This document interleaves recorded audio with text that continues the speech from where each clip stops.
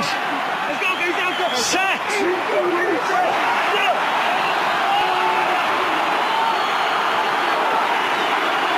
Eames, are going nowhere, Eames. So digging in for it as Phipps gives it to Folau. And he has taken about three metres out, lays it back now for Phipps. Dummying, getting it to Hooper.